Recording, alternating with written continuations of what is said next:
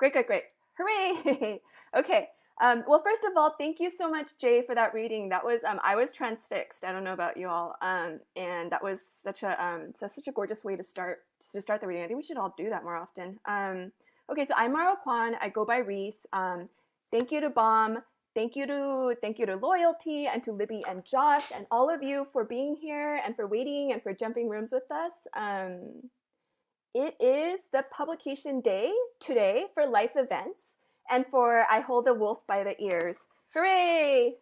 Books, books. Um, so Libby mentioned, I know how you can buy the book. I'm, I'm just going to take a quick moment to encourage you to um, to buy the book today from that link from Loyalty. Um, and to please keep in mind that it might take a minute, like what with the pandemic and the uprising, post offices are having a hard time. Um, and booksellers are working like much too hard. I feel like every bookseller I know is um, is going through a lot. Um, and so just I would encourage you to buy it from loyalty and to and to perhaps have just a tiny bit of patience um, about when exactly the book shows up.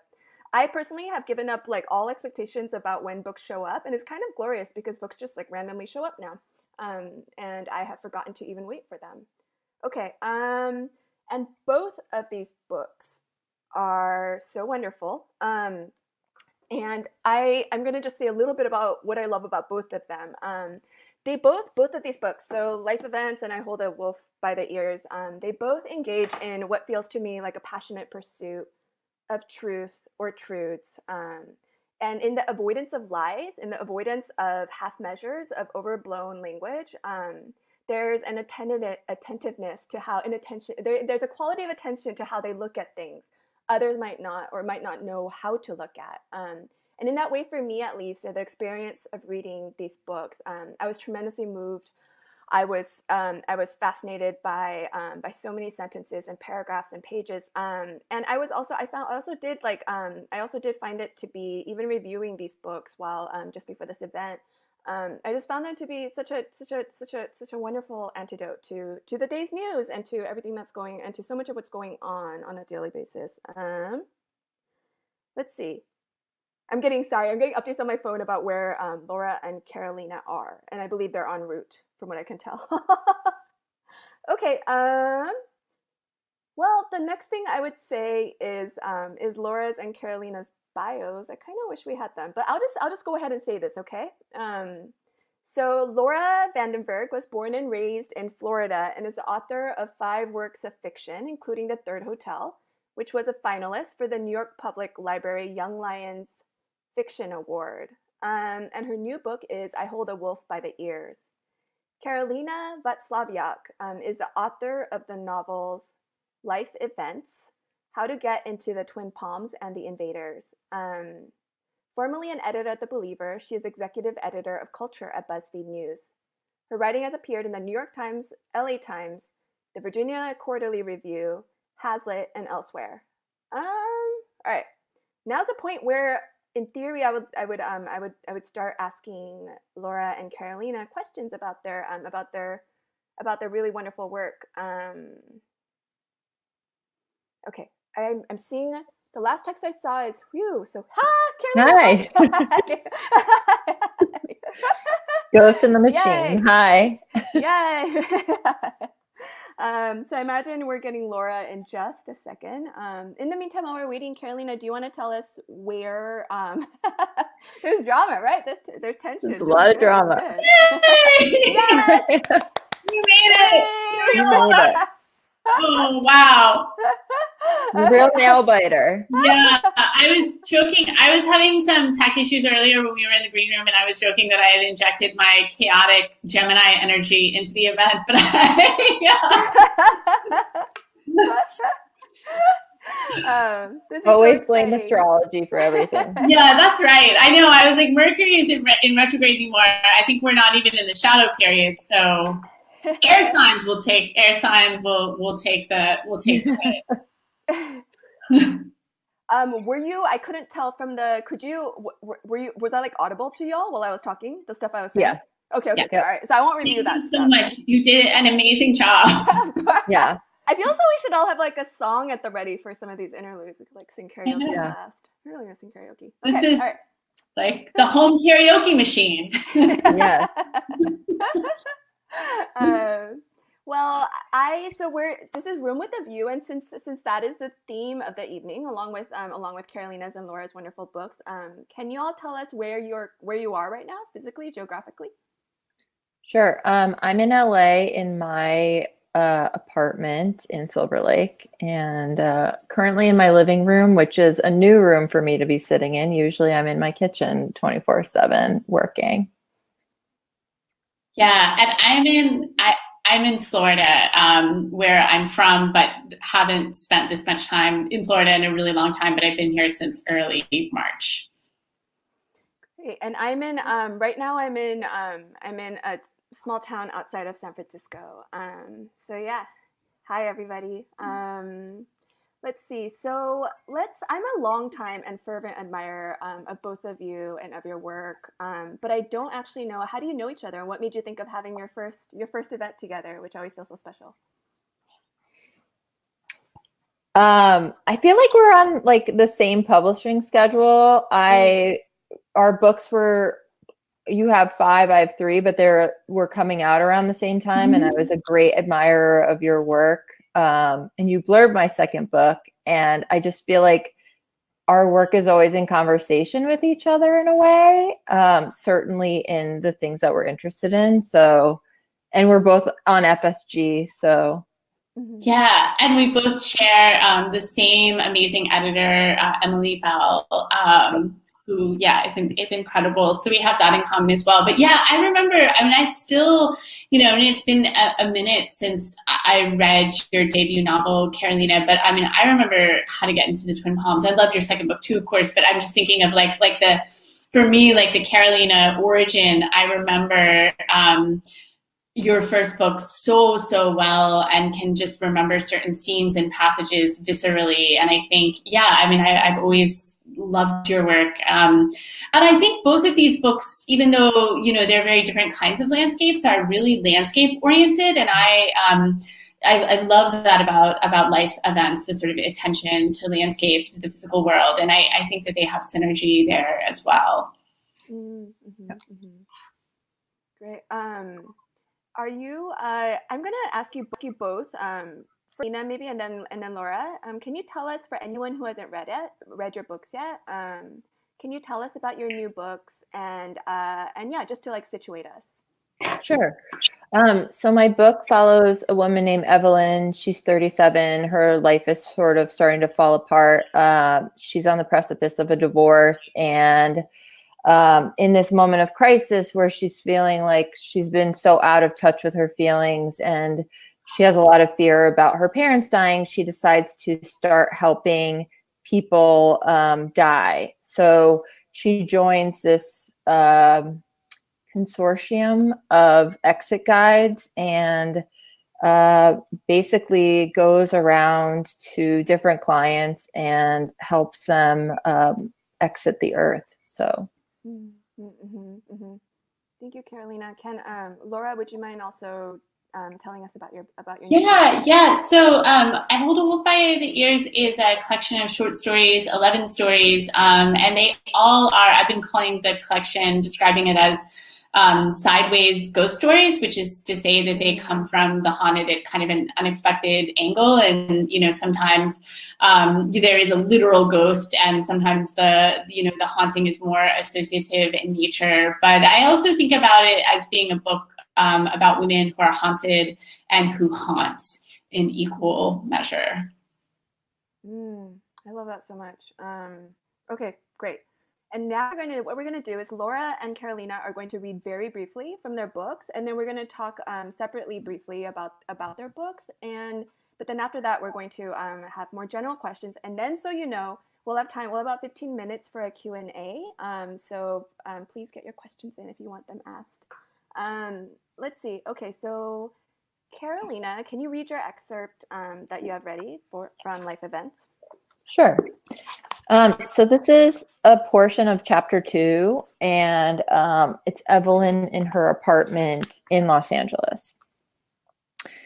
When I got home, Bobby wasn't in our apartment, but I assumed he'd be back soon, so I got to cooking. I made an entire meal and ate it, and he still did not come home. I went to sit on our patio to have a drink and then another. not to wait for him exactly, and not to get drunk exactly. Sitting on the patio, taking frequent sips from my glass, I noticed a small bird body quivering in the dusk light.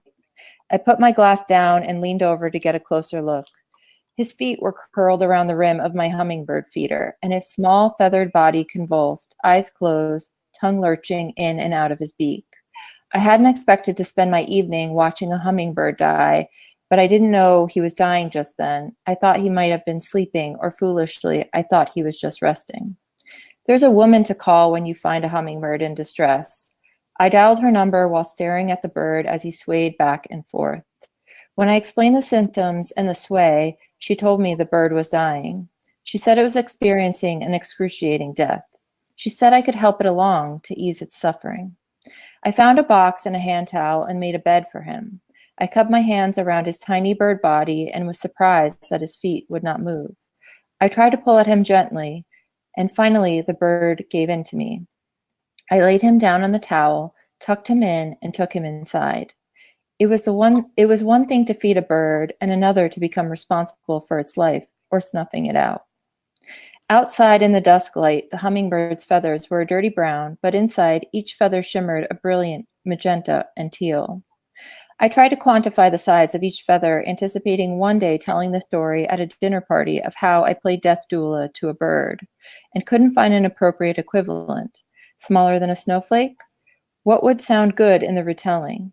Why ha- had I immediately assumed it to be he? I had read that male birds always had superior plumage to females in order to attract. Males held the power and the beauty. The name of the woman on the phone was Helen, and I kept saying things like, That's terrible to hear, Helen. And are you sure he won't survive, Helen? And, Oh, that's awful, Helen.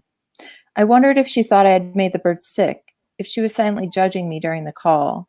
I worried that I was the cause of his suffering. Helen told me if I was calling her, I cared enough to not have been the cause. She hoped that I cared enough to kill it. Helen told me to crush up an anti inflammatory pill and mix it up with the simple syrup I made each day for the massive hummingbirds that would migrate to our feeders. She said to mix in one crushed tablet of my anxiety medication to let the hummingbird go to sleep. She told me it would be okay, that doing this would not make me a bad person. To make me feel better, she kept saying it was going to die anyway. I found my bottle of Xanax at the bottom of my purse, took one myself, and broke another half pill to crush up and mix with the syrup. I found an eyedropper and took all the steps Helen advised. The bird did not die right away. I spent hours with him, dropping the mixture onto his tongue, hoping he would take the sip that would finally dull his pain. The agony was in the waiting. At one point, his feathers stopped shivering with iridescent light. His eyes opened, and I hoped he saw me trying to help. I refilled the dropper over and over and finally watched the bird lie down on his side, tucked into the seams of the towel, and breathe easier, convulse less. In the aftermath, all I felt was a kind of blankness. I buried him in one of our potted plants on the patio in the shadow of a succulent. Thank you so much, Karolina. Um, I want to that section that you read. I remember when I was reading this book um, that I remember reading that section and I just like turned to I turned to Michael, my husband, and I was like, "This is really fucking good." um, I was so excited. Like, I don't know. I feel as though that that scene really, um, just like really, really sets up a lot of a lot of the a lot of the a lot of concerns of the book. Um, and it's just so it's like so incredibly moving. Um, I I guess I I would love to ask you about. So this book has a lot to do with um, something I found. One of the many things I found really interesting about this um, about this incredible book is is is how focused it is on on anticipatory grief, um, writing about loss loss that is like most likely about to happen, um, or it will happen soon-ish, maybe. Um, and I wonder if you could talk about that because I feel so that's not something that's um, that's that's um, grappled with as often, perhaps in in fiction. Yeah, it's interesting. I mean, I sort of became obsessed with this idea of pre-grieving, which I really like. I couldn't even find the words for it really, but it it, it was at anticipation of the bad thing happening.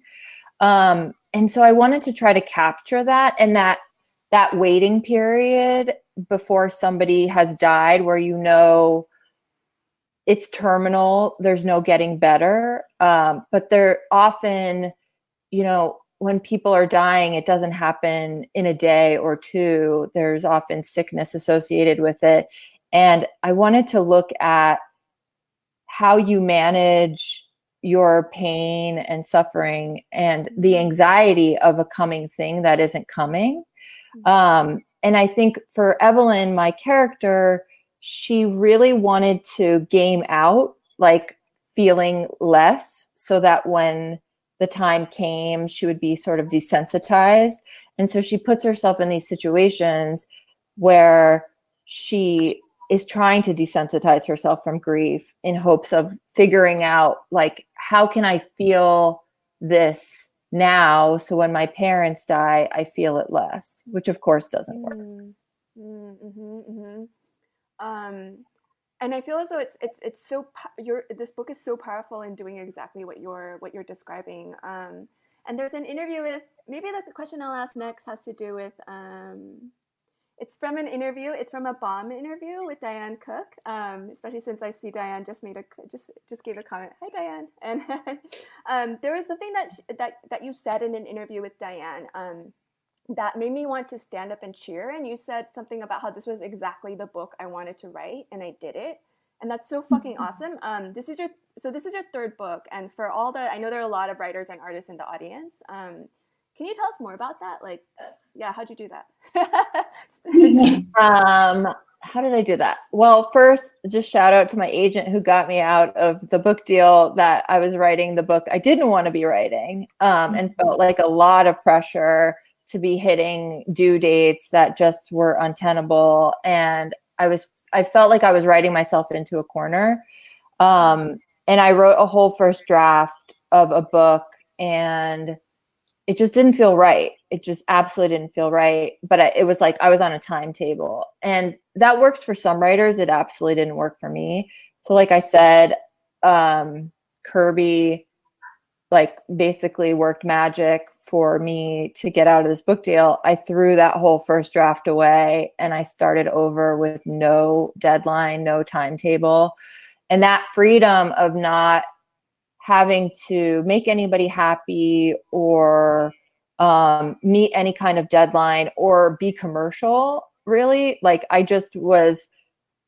I just decided what is the book that you want to write? What is your central concern right now? And that was really trying to navigate the own the fears that I had myself. And so I wrote a book that, you know, and I say this to writers, young writers that I talk to, write like you don't think anyone will ever see what you're writing so you can be the most honest and that's mm-hmm. really what I did and you know Emily Bell who I've wanted to work with for so long saw it and we worked together and even then I, I added like 50 or 60 pages in the editing process. And it was just like I was taking my time and and finding my way into this book. Um, and and as it happened, like it turned out well.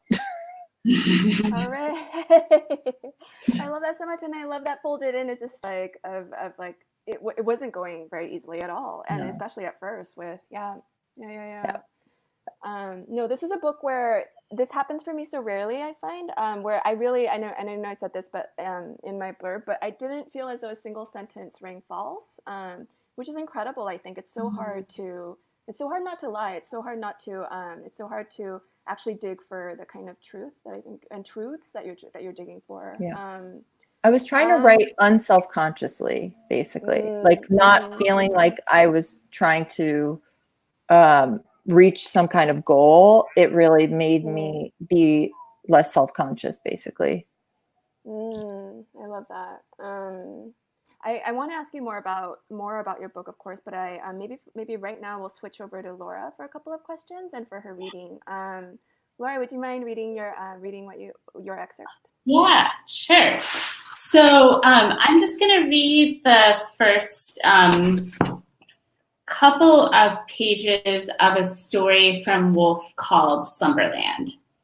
Mm. I spent that summer driving around at night and taking photographs because I could not stand the sound of my neighbor wailing through the walls.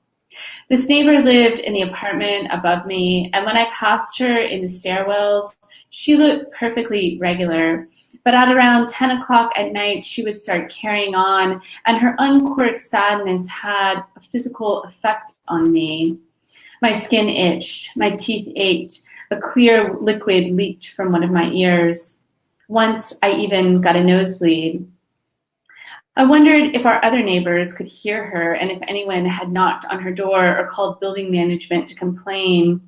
I did not knock on her door or call building management to complain because I did not want to confront whatever was happening in my neighbor's apartment.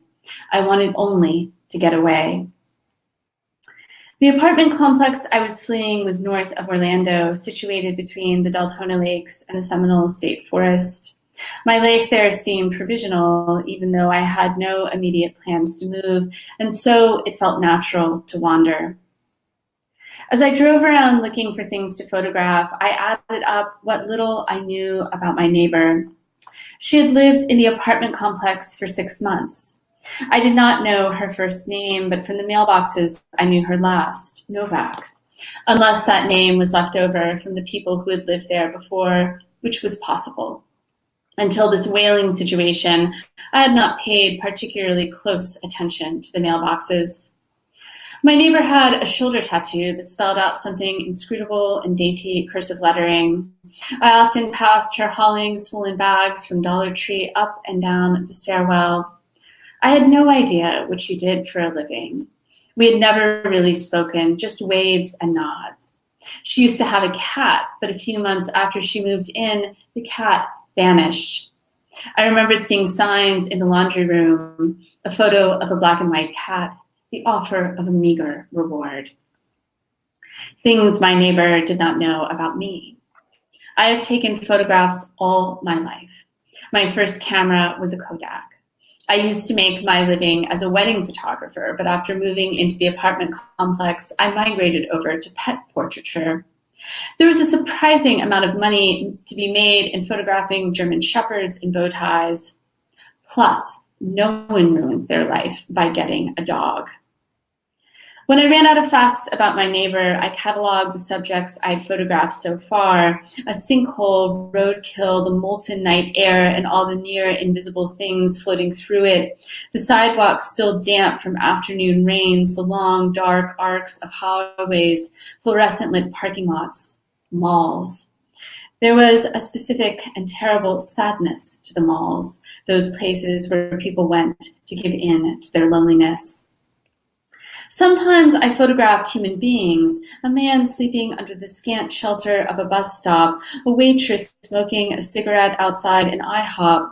Sometimes I parked in an unfamiliar neighborhood and walked around with my camera, my armpits dripping under my shirt. That was how I got the mother and son haloed in the warm light of their kitchen.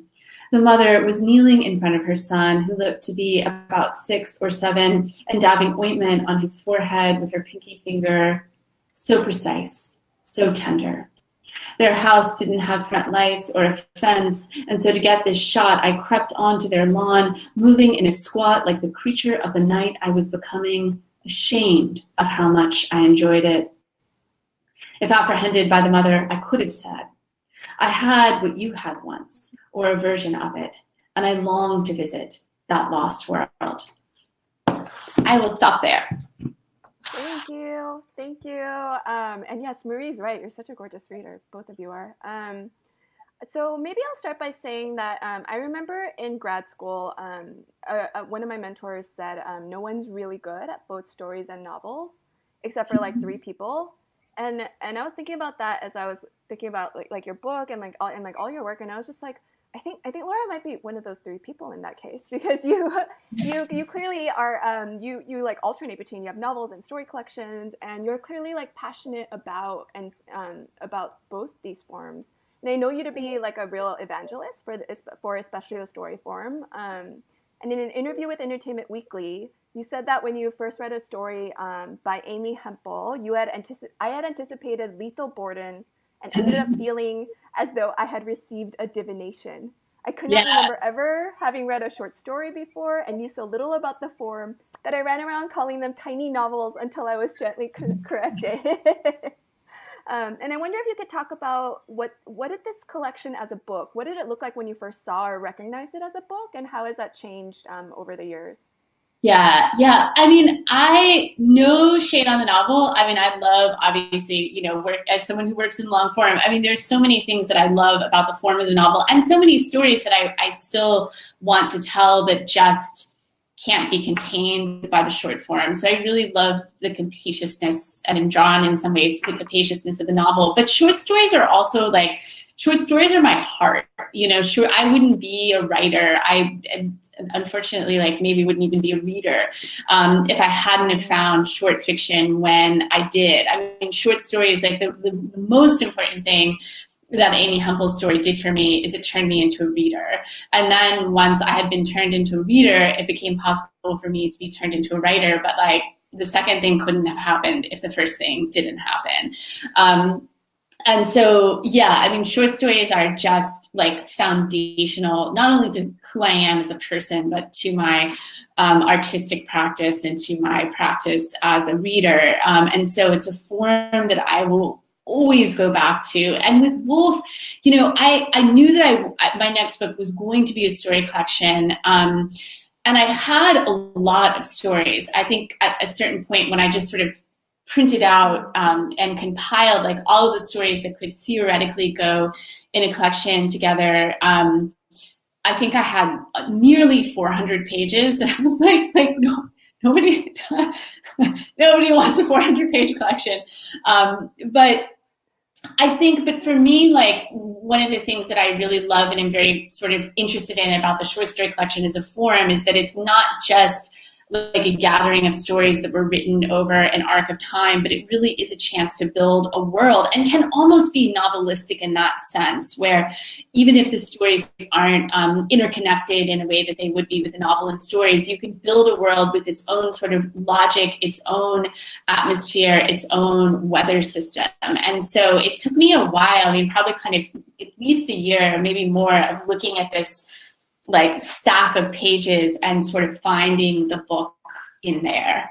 Mm, hmm mm-hmm. Um, and can you say more about the ghosts and the hauntings? Um, because I was thinking as you yeah. said that, I was thinking about how like I feel as though ghosts and hauntings, um, like are are so are are are, are like all over your fiction from the start. Um, and I wonder if like especially with a book that is um that isn't your first or second book, um, how what how did you how did you work with with, with these hauntings in a way that felt um, because it does feel it feels like new it feels like it feels like it feels like it's your writing but it's like a it's like a it's like it's like it's like different Laura writing you know? Um sorry that was very fluent yeah could you just talk about the ghosts and like how you put them in this book versus in other books? Um, yeah, I mean, I think that that, I mean, the, the supernatural through line, thinking about like looking at all these stories and trying to kind of pull a book out of it. Um, so earlier at the top of the evening, which I think tragically maybe not everyone could hear, um, the poet um, Jay Deshpande, who we were at a residency together two years ago, um, this amazing place called Shpitala, and he gave a, a beautiful reading um, of some poems. And yeah, so at this residency, um, I was working on stories and wrote like three or four stories in a row that did end up going in Wolf, um, where the hauntedness was really foregrounded. And I think somehow that allowed me to see that like, oh, this is the this is the weather system that will will kind of shape the world of the book ultimately. Um, but I think, I mean, there's so many things I could say about my artistic and just like human interest in the supernatural. But I think for me, one of the most important questions to ask for a work of fiction is what is going on in a story or novel that cannot be bound by language. Um, and I know that that sounds kind of counterintuitive because as writers, like our medium is language. You know, we don't really have very much else to work with. Um, but what I mean by that is like what is happening in this world that can't be bound by like direct sort of um, explicit expression, like, like, what has to be kind of animated or come at sideways. And I think like the supernatural um, I think every work of fiction needs multiple modes of communication. Um, and I think that, you know, coming back to that question of like, what is this sort of supernatural uniquely equipped to communicate? Um, and I think like the, the ignored, um, the, the suppressed, the buried, no pun, no pun intended, um, the overlooked, etc. I mean, I think all of that matter um, the supernatural is like has is like kind of a beautiful powerful unsettling technology for looking at and, and excavating what has been under the surface. Mm. i love that so much. Um, i want to ask you more about that but i also want to switch back to um, to asking both of you questions. Um, and I wonder if we can talk about, especially given um, given what, what else has been going on um, this year, I know you both to be um, enormously generous writers and readers. Um, and I wonder if you could talk about how you think about literary citizenship um, and what aspects of it make sense to you. And maybe especially now when I know a lot of writers and artists are wrestling with um, amplified questions about how to be useful to fights for justice today, how to be useful to Black Lives Matter, like how to how to how to live as people in the world as people who um, who believe absolutely in the life saving power of books. Um, and but um, yeah, I'll stop there. Either one of you. Do you want to go first? yeah, I can. Um, I mean, I think I think that there's there's being a literary citizen and there's also being a citizen and and and that both are really important but like one is not this I mean obviously it goes without saying this is just my perspective but like one is not a substitute for another so I believe I absolutely believe that art can save lives and change minds and hearts. Um, I also believe that if my house were on fire, I would want someone to show up with like a fire hose and not a novel.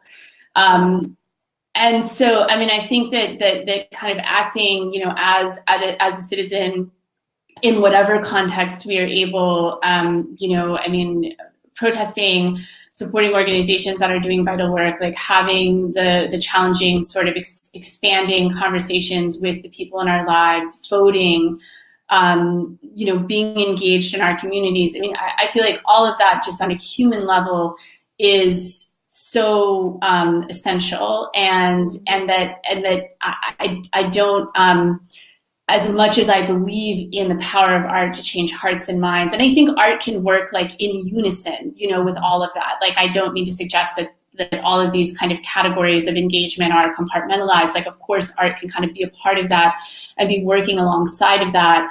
Um, but I think that, that the, you know, it can be, um, perhaps not so useful to lean too heavily on the like books will save us, art will save us, um, and and uh, particularly you know when we find ourselves in a sort of deepening state of emergency, and it's like that is just the, the artistic engagement is just simply no substitute um, for for being engaged in in other more immediate ways as as citizens, um, and so and also I think you know I, you know connected to that. I mean, I think so much about um, literary citizenship as I mean, I think one you know again it, it's something I, I could say you know, so so much about, but um, but I think like it can be so helpful to.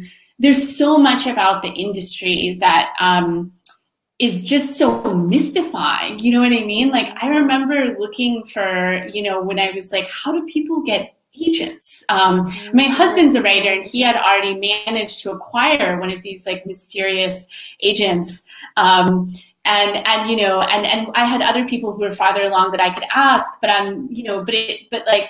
What if you don't, you know? And I think even for me, having people I could ask at that stage, like to go acquire an agent was like asking to like go acquire a unicorn or something. Like they seem so mm. like, majestic and far away and like why would a, why would a unicorn want to talk to me?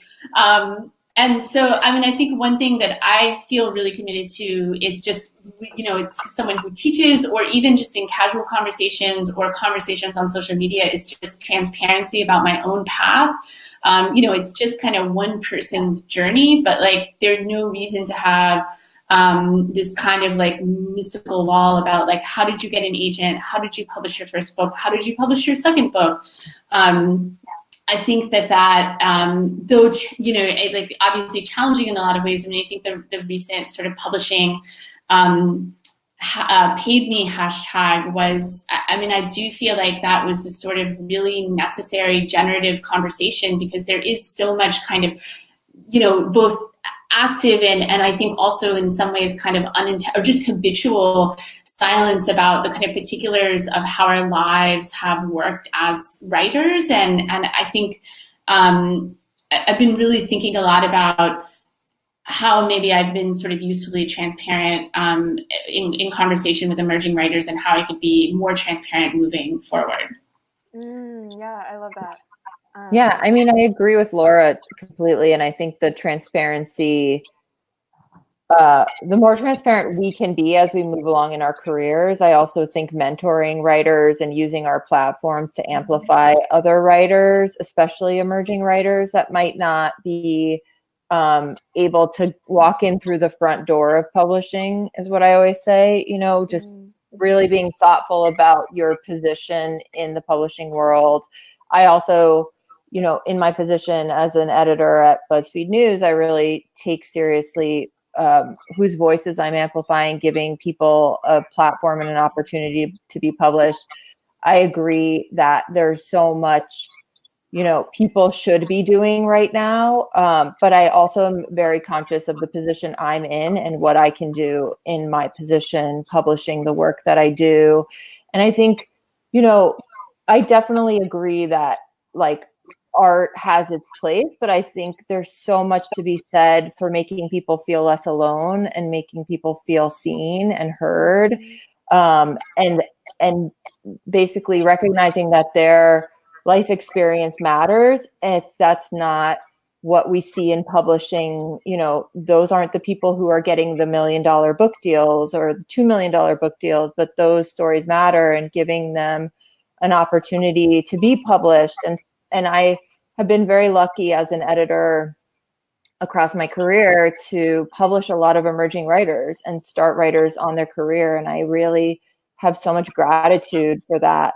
But I think in general, you know, we're a community and treating each other as part of a community. And if someone is hurting or needs help or, you know, we are in the position to do so and and we should and that goes for like the larger community of this country and people who need need help and i think this sort of american individual uh, American individualism has really screwed us over in many ways, as we're seeing right now. Mm-hmm. Um, and so I'm heartened to see people come together, both in the literary community and the larger community, to try to like do what the powers that be cannot do.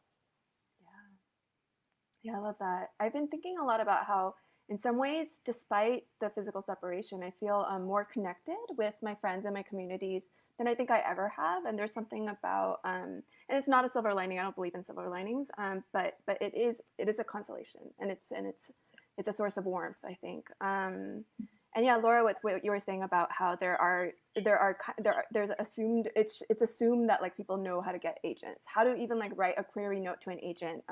And I think the more that we take that as a given, the more um, the more knowledge is not um, equally distributed, the more like the more inequity there's just going to be. Um, and it's definitely it's definitely um, classist. It's definitely racist. It's it's elitist that um, that that the knowledge is not like as available as it should be. Um, well, I um, I'm going to ask. I know we're. I'm going to ask you all one more question, um, and then I will switch to comments. And I know we have our com- not comments to two questions. Um, we have these in the we have these down low um, and if anyone else wants to add any we still have time to add your questions and i'll try to get in as many as we can um, my last question is can you talk about your titles um, which are both so perfect i think um, and like very different um yeah I, it's interesting my i had the title of untitled grief project on the book for like six years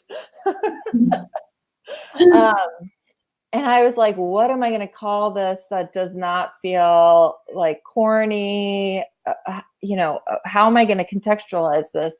And I was filling out health insurance paperwork and it was asking me, like, what life event have you had?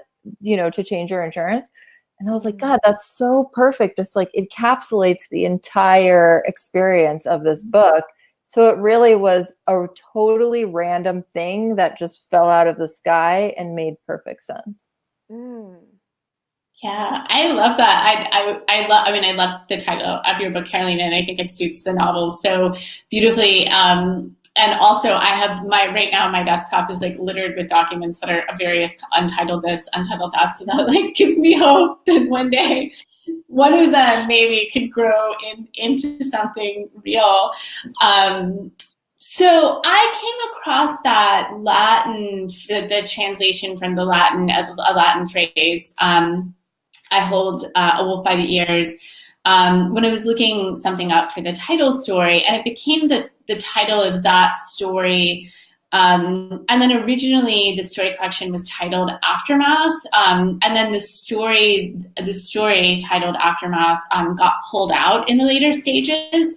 And and then I didn't have a title, and so I was sort of looking around at the you know the other stories, and I was thinking I could call it Slumberland, I could call it this, I could call it that, um, and they all in some ways like seem too specific to the world of the story to be the title for the book. Um, but I think I hold by the ears, and the idea of these characters kind of being in these really thorny situations for which there is no clear path out. Um, I mean, I think that that certainly spoke to um, the the broader concerns of of the book, and I think also like the title story, to my mind, has the most of like all of the stories in it. Um, like it is not necessarily fantastic in the way that some of the other stories are, but there is that sense of surreality. Um, it has a lot of the sort of thematic concerns, and so in some ways, it's uh, just as a title story, it seemed like the the like ideal ambassador for the collection, um, and that that yeah, like the decision to title. I also I love long titles. My first collection of stories had a very long title, and then I like progressed to shorter and shorter and now yeah and now i'm back to, i'm back to long. But i love i love the music of a long title. Mm, yeah because your last title was third hotel and i remember thinking laura's going really short for laura. I know, and the title before it was find me i was down to like a whole two words. Uh, well i think i think they're both um, perfect titles for incredible books um, okay we'll switch to audience questions um, and i know the first one was is there a visual artist? It's from BOMB, um, which, as you may, as you probably know, is is, is wonderfully inter- interdisciplinary in its um in, in in terms of like the arts it covers. Okay, so is there a visual artist you can think of who influences your work, or musician, or film? Artists that so at this residency that Jay and I were at together, we were also there with this amazing um, visual artist named Saya Woolfalk, and she um, her work is is multi she uses different kinds of media in her work but i think of her as being primarily um, an installation artist. And i love saya's work for the way that um, you know she's in conversation with story and in conversation with narrative and that her her projects um, over like multiple exhibitions will often um, span like different storylines and different temporalities. So i mean there really is like a kind of novelistic scope to what she does. And she's also talked in interviews about um, kind of through her work sort of playfully um, using art to reimagine kind of hierarchy and to reimagine like the systems that shape our world. And I always think, you know, in any sort of arts practice, that's such a um, that's such a beautiful kind of idea, right? That the idea that we can use story to reimagine the world, um, and if we and to reimagine sort of different ways to be in the world. Mm. I love that. Um, so as I was saying, a few friends of mine and I were they're visual artists. We traveled around the West together for the last God three years um, on different trips. And as I was working on my book and doing research, my friend Roslyn Crow, who's a fine art painter, was working on um, these incredible sort of acid West uh, paintings of the West. And it was really exciting because she was taking photographs of succulents and different crazy rock formations while I was like, had a notebook or sending notes to myself on my cell phone. And I think her work specifically really speaks to mine because it's tackling the mythology of the West and sort of like this idea that you can reinvent yourself completely here. Um, it's a place to disappear. We were actually working on a film together around like uh, a televangelist who had squirreled herself away in West Texas. And so I feel like the last four, five years were completely consumed with Western landscapes. And she's had several art shows with these incredible, huge scale um, paintings. And it really feels like those trips were generative to both of us, and our work was very much in conversation with each other. Um, and then, you know, there's people like Stephen Shore who took a lot of photos of the West and was also trying to capture a certain time in the West and the possibility of the West. And I think my novel is very much like looking at at people's dreams of the West, whether or not they worked out, and sort of the remnants of this great American idealism, and you know, feeling like anything was possible, and we're not really there anymore in the history of our country. Um, but that doesn't keep people from trying, and that was definitely something I was super interested in, and that sort of atmosphere of being able to walk into the desert and get lost. No one knows who you are, and you can be anybody. Mm. Hi. Hi. and then and then there were two. should we start uh, just asking each other questions, or should I go into ask a question and see? I think so. If we, yeah, what happens if we oh okay i can ask myself this question. Um what research what was the research like for this book? How did you enter the world of exit guides and death doulas um that's a great question. Thank you naila um so i did I've said this in an interview, but the way I even learned about the world of exit guides is from a criminal podcast. Uh, it was an episode about a woman who worked as an exit guide. She had been arrested for assisting suicides. And I was fascinated because I didn't realize there were these kind of helpers. I had only ever heard of this through Jack Kevorkian and very tabloidy headlines. Um, but she really talked about the empathy behind this action and this collective of people who are very interested in being with people at the end of their life and helping them out of their suffering. And so I started doing research in that world, reading books on it. There's a few books. Um, hi. Hi. Um, I started doing you know research there and then i actually took some courses death doula courses that i found to really be around people who were making the choice to help other people die and i just want to be clear that there's a difference between assisting suicides and death doulas and traditionally death doulas are helping people as they reach their own end um, and sit with them and help them prepare for their die for their the end of life. Um, and it's also helping families go through the end of life process. So I was in those two worlds and they both fascinated me and I immersed myself in a lot of like the world of death preparation and um, yeah, I started writing this book and pulling elements from both and you know, came up with this. Thank you, Karolina. Um, maybe Laura, we'll have one last question for you, and then I know um, I know Libby wanted to come back on. Um, this is a shame. I, I, have so many more questions for you, and there are so many audience questions for you all. Uh, Laura, did you experiment with any new techniques or styles while you were writing the stories in Wolf? Yeah, I did. Um, I wanted so in my previous collection the Isle of Youth, it was seven seven stories, and they were all like pretty long, um, and and I I I really wanted to figure out how to write sort of a more distilled story, a story that could um, do what those longer stories did in in less space, um, and and kind of thinking about like you know where i'm starting from and how i'm moving through time and all of those questions. I also like i love i really resist the idea that the short story because it's a small space deals with kind of small things.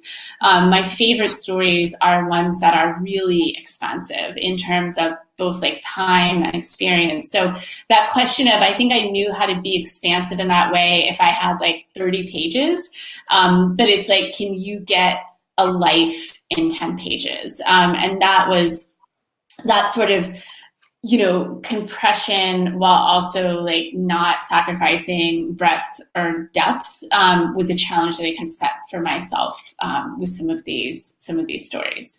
Um, and then there are also other more kind of playful experiments in form, um, you know, writing stories in fragments uh, and and things like that. Like your there's a story um, about a woman who impersonates uh, dead wives for uh, bereaved husbands called Your Second Wife. And that's a story that's written in fragments and short, short sections. And it was like really, it did feel like very fun and playful, sort of in terms of the structure, even though the story deals with like some heavy things, um, to write all these fragments and then figure out like the shape that they should go in. Mm-hmm. Um, well, I have um, I have te- uh, Libby. Um, Libby is saying that we don't have to have a hard stop at five, and so in theory, if y'all are up for it, um, she says we could fit in a few more questions. But I thought I'd check. Does that work for you all? Does that sound okay, Laura and Karolina? Yeah. yeah. Okay. I have and, um, and uh, for anyone else, just in case anyone does leave to leave at does need to leave at five, um, I just want to say uh, once again encourage you, very, very warmly encourage you to pick up the book from that loyalty bookstore link right below Karolina's and Laura's faces. Um, okay, let's go on to one more uh, or a couple more questions I think we could fit in. Um, I would love to hear, Lisa says, I would love to hear what all three of these amazing writers have been reading lately. Yes, always a fun, always a fun question. Um, I'm very lucky. I'm reading the new Elena Ferrante, which I think got pushed to September. I got a galley mm. and I dropped everything that I was doing uh, to read it. I I have like three books open on my bed, and one is um, also Diane Cook's The New Wilderness that is coming soon in August. She just got longlisted for the Booker, and I believe she is in the audience.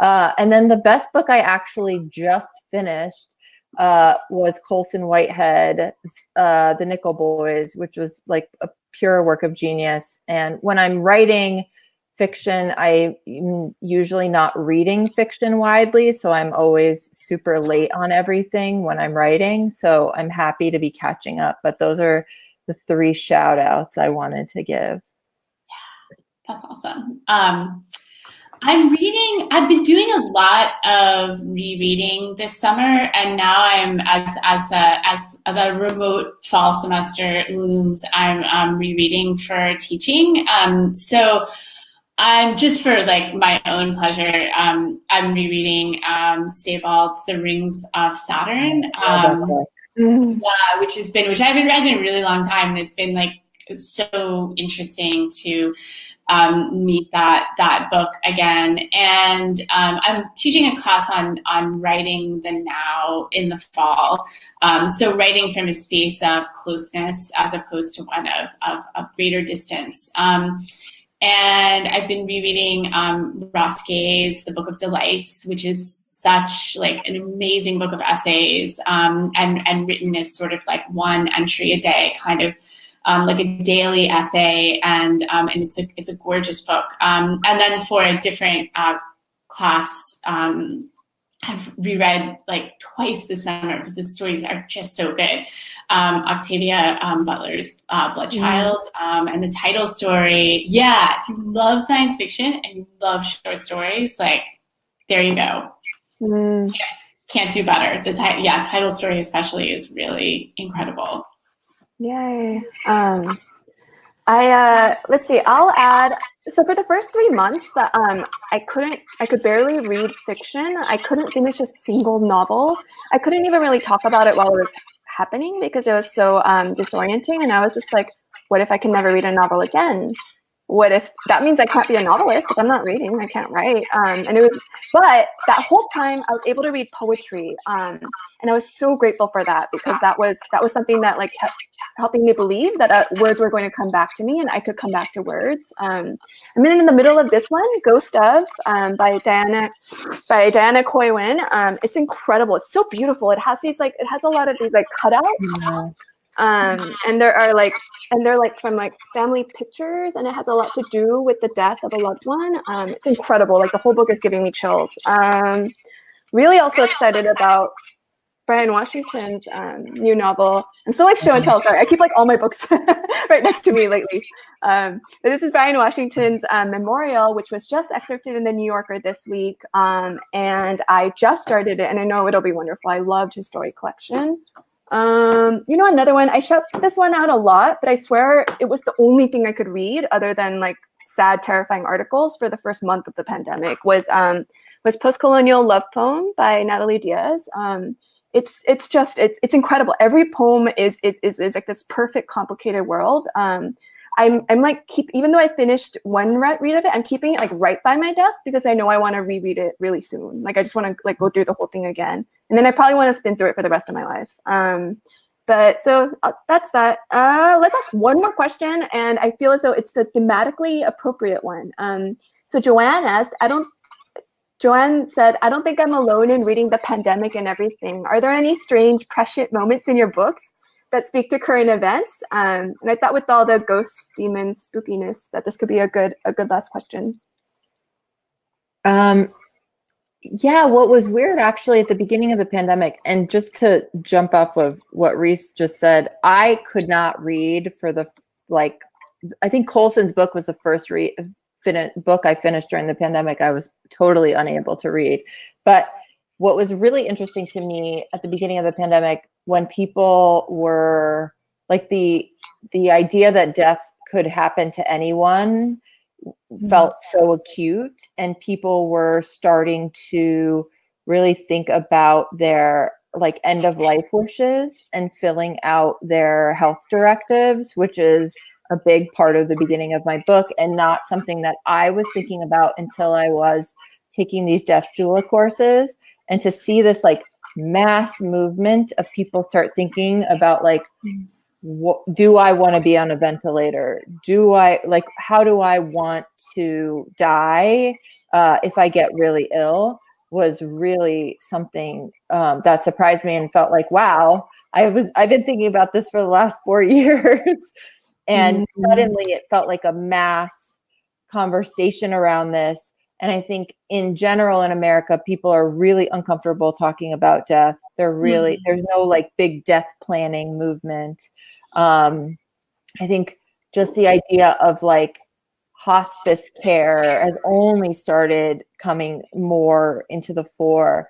And so I think just the idea of this like mass grief and mass planning uh, definitely feels like something that was in my book and is now everywhere. Yeah. Yeah. Yeah. And I think, I mean, I think that that's something that's so amazing about your book, Karolina, um, too, is that it just, it's like we need better language to deal with death and grief than what, at least in, in my experience, what feels sort of available. Um, because it's it's it's often the, the kind of mainstream language around death and grief and dying feels so sort of superficial and insufficient to deal with like the profundity um, of the of the actual experience. Um, but and but yeah, I mean, I I see that's like so much. Your book being so engaged in kind of that project, and um, that certainly feels pressing now. Um, I uh, I think in these stories, I mean, I feel like a lot of these stories turn on moments where the supernatural sort of introduces itself into the character's life in such a way that she can kind of never see her own life in the same way again. Um, and I, I do feel like the, the sort of the pandemic has has had that effect for a lot of people where it's sort of been like you know an x-ray um, and wherever there was you know in, instability um, in one's life the the the pandemic you know has kind of heightened it intensified it turned it from sort of like a low buzz to something that's really um, unavoidable. Um, and I think for any of us that we're still harboring illusions of the idea that we live in a country that's in any way sort of just or equitable um, in, in kind of both like macro and, and micro ways. It's, you know, I think the pandemic has really demolished um, whatever uh, uh, illusions were perhaps still being harbored. And um, yeah, I mean, I can see, I, I, can see resonance there. I guess um, the idea that um, you know something happens and and and your perception of the world is just fundamentally different after. Mm-hmm, mm-hmm, mm-hmm, um, well, that's um, Thank you so much for that. And thank you for your questions, everyone who asked questions. I'm sorry we couldn't get to all of the questions. Um, but Laura and Karolina both have um, more events coming up um, and they look really exciting and fun. So that's another place where you could where you could catch them if you wanted. Um, and I believe, is there, I think Libby's coming back on. Um, is there anything else you all want to say? Laura, Karolina, anything that we didn't get to get to? Just saying you all so much. We made yeah. it. We, we made, made, it. We did Thank it. so much. Thank for, you so much. 2020 yeah, did not bring us down. hanging in there with us. Yeah, that's right. The demons tried to beat us down, but we were like, not not today, Satan. like we are gonna we are gonna stay on this crowdcast yeah. until we figure some shit out. yeah, we will be heard. And um, thanks for all, everyone sticking with us. And yeah, like, it's such so a joy. Much. Yeah. And Reese, thank, thank you, for your great questions. Thank you for your questions. Yeah. Oh, yeah, of course. Um, it looks as though I believe Libby might be locked out. okay, Libby is asking us to say goodnight um, okay. for, for, her and okay. for BOMB. Um, so Good night, everyone. Thank you Good so night, much. everyone. Thank Hope you. to see you soon at another at another of these events yeah. or another Laura's or Karolina's events. And yeah. Uh, thank you. Bye. Bye. Bye.